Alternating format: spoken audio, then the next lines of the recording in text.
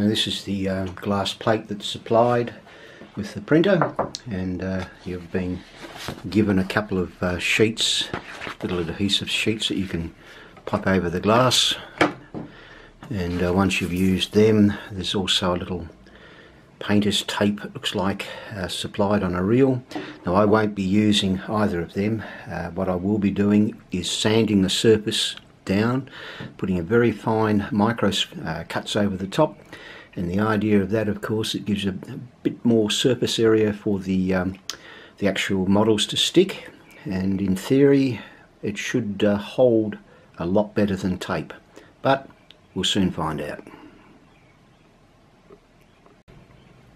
Yeah so I'll be uh, using this sort of thing.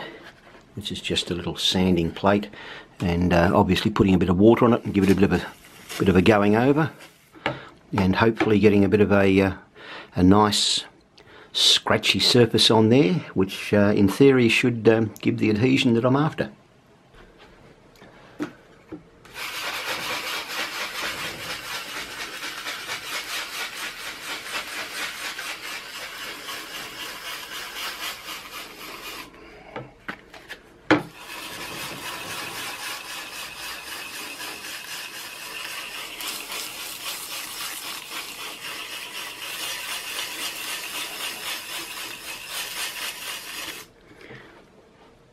Yeah, I think you can see the uh, micro scratches starting to appear now.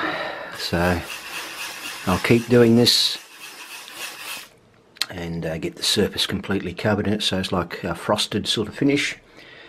And then I'll be uh, ready to go to the uh, next little section. And there's the uh, sheet of glass after I've sanded it. And it's got thousands of uh, little micro grooves in it.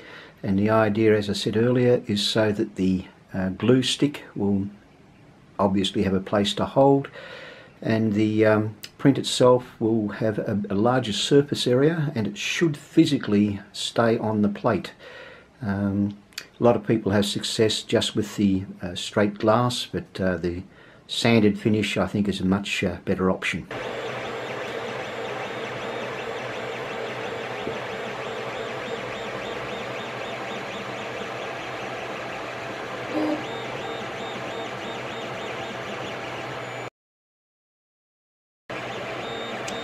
It looks like it's printing absolutely perfect and that's on the uh, scratched glass that I've put in and I've used a glue stick over the top, just a very light one, a light wipe I should say, and uh, it's adhering perfectly and printing spot on. So very happy so far. We're at 9% uh, of the print at the present. Okay, we're at 17% uh, now 18% has just popped up to. Print's looking pretty good. Soon find out of course once it's uh, completed we'll have a good look at it. I'm very impressed with this printer and uh, really can't fault it. Well, I certainly hope I can't fault it, I'll put it that way. What I'm printing of course is a stress relief uh, which is supplied on the SD card and I think that's uh, one of the must-haves on this printer. You really do need a stress relief on the um, on the y-axis um, for the actual heating bed. Otherwise you're going to have a bit of a problem there. You'll get the wires will flex and eventually uh, possibly break and uh, that'll cause you no end of grief when you're trying to print something. We're on the 50% uh, mark at the moment, the halfway. And uh, still looking pretty good. Can't argue with this. Except you can't see anything.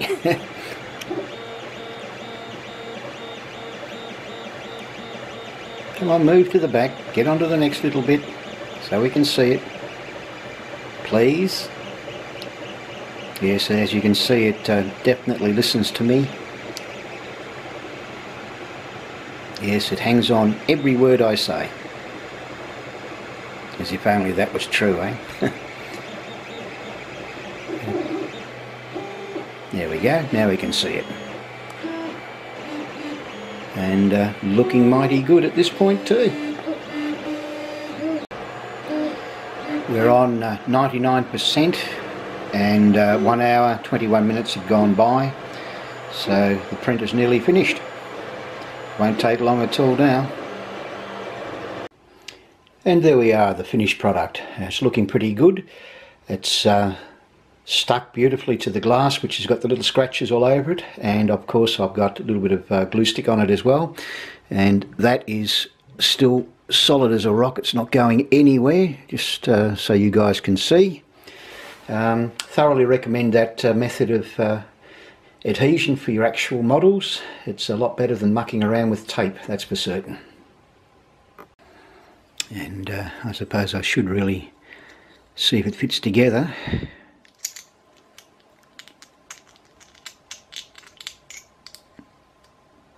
And uh, I definitely can't can't complain with that. No stringing no nothing. And uh, looks pretty good. Not bad at all okay